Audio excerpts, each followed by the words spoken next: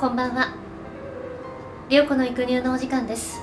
本日はお役立ち育乳メソッド、瓶の口で胸の大きさを測る際に行う育乳マッサージです。それでは参ります。お客様サイズ感の方いかがですか？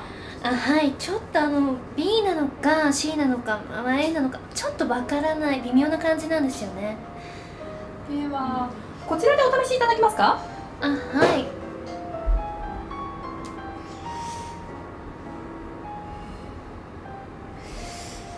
うーんちょっとさすがにこれはちょっと小さすぎますかね。うんまあはい。こちらお試しいただけますか？あはい。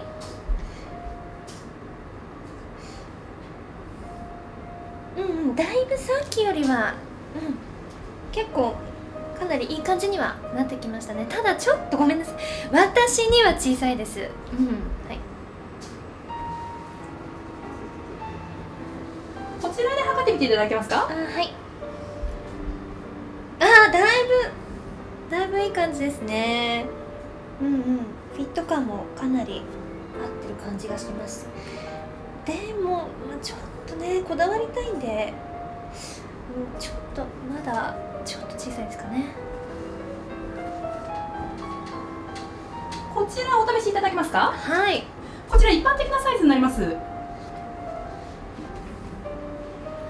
すみませんこれ一般的こちら一な般的な女性のサイズになります。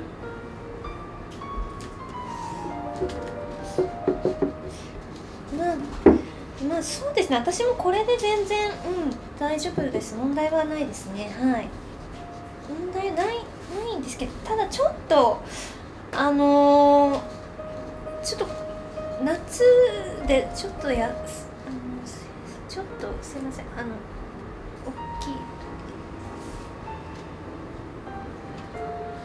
こちらでお試しいただけますか？はい。これもあれですよね一般的なサイズ。こちら小さめのサイズになります。けけ結構。こちら小さめのサイズになります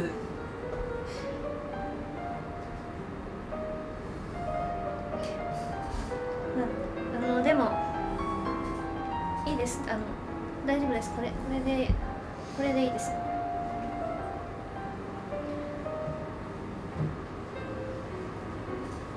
終了です、えーこのように、下着屋さんで自分の胸のサイズを店員さんにお伝えするときに正しく伝えられず困ること皆様結構おありかと思います。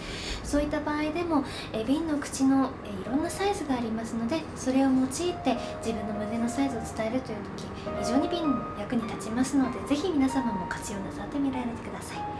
それではまた月曜日にお会いいたしましょう。ごきげんよう。